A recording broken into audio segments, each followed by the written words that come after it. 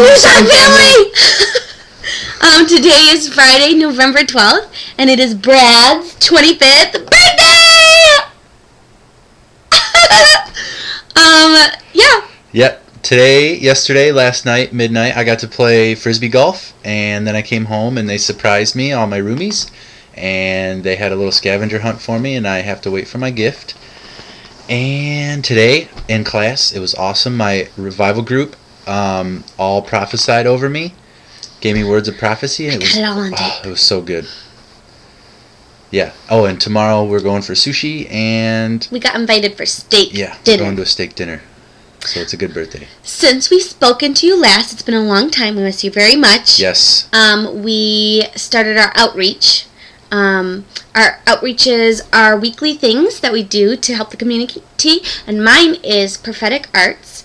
Um, what it is is basically an extreme treasure hunt, but without the treasure maps.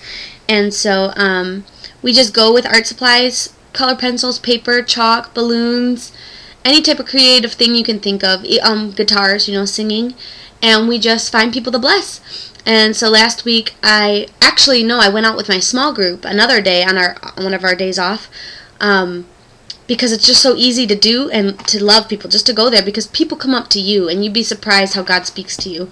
And so I just wrote Dave on a um, piece of paper, all folded up, and as you unfold it, you could read, "He is your joy and your strength. He knows your name and he loves you."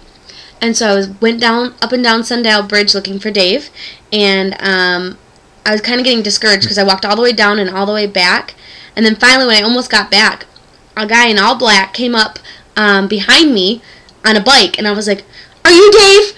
And he started to slow down. He was like, "Yeah," and I was like, oh! and I was so excited. I was like, "You're my treasure. This is for you!" And he just accepted. It was really awesome. And then my outreach is Saturday Community Feast, where we get to go out and serve food to the poor in the city. Um, some places they actually like live week to week in motels. Sometimes they're homeless, sometimes they're not. Um, but you really get to just meet them where they're at and honor them um, as God's, you know, people and um, minister and just hang out with them. And they really appreciate just you know someone listening to them and actually as a testimony there was a woman who was um, not really a believer and we just asked the presence um, of the holy spirit to come and it rocked her she had no idea what it was but Uh-huh. she's like this feels so good and she got drunk Look, she just got hammered the with Holy the Spirit. it was amazing It was. Oh, I don't know, but it sounds amazing. um, this since we spoke to you last. Oh, also we have to tell you we're coming home December eighteenth Oh, yeah. through January third, and we're really excited. We would miss you a lot.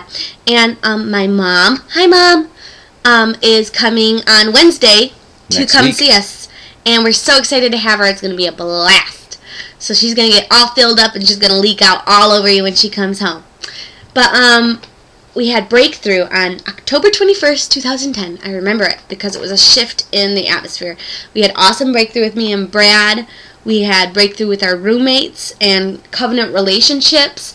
We had um, revelation, crazy revelation on all the Christian hot topics like salvation and um, forgiveness and, and faith and all this awesome stuff. It was just great. yeah that same day um, danny silk taught on covenant relationship and it really just blew our minds and our roommates too and we decided then and there to um, decide to live in covenant um, and really make a decision to um, to live that way with one another One thing I really liked was um, he shared that you know how our family members know our buttons and they know what buttons to press to to bother us. Of course not, not you, Brad. but uh, anyway, he said that you should only have one button, and that's the love button, and that um, my love button is always on. That's what he said. So um, I thought that was really cool. Yeah. And then uh, we are going on a mission trip in March. yep we know where we're going We're going to LA for Hope for the Homeless. Hmm. Um, we're really excited. I think that we get to go to um, Skid Row, which is Mhm. actually kind of where if they pick up people like drunks or homeless people on the streets, they basically cops just go to Skid Row and dump them, and that's just where they dump all the. so that's where they kind of hang out Trash. and their home where they Right. make home and it's it's an awesome place to just bring bring God and bring the light in in a dark place. So we don't know that much about it, but we know that we're going to be ministering to um, to God's treasures. So we're really excited about that. That's going to be the end of March. I think March 28th through April 4th. So you can pray for that for us um, and support us in that way.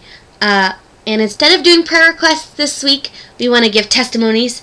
Um, we have some crazy testimonies from school. They're not actually like our testimonies, but they are because co- corporate testimonies are our testimonies too, and they're your testimonies now too. Yep. So um, there was a Oh, testimony. and we learned that testimony means God do it again. Oh yeah, that's cool. And we also learned that keeping a record of testimonies is just as what's this just as important as? I don't know. Oh, I don't remember. Figure it out. It's really important though to keep track of the testimonies.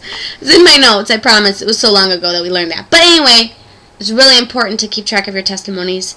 Um, super important. Oh, I think they said it's as important as keeping the commandments.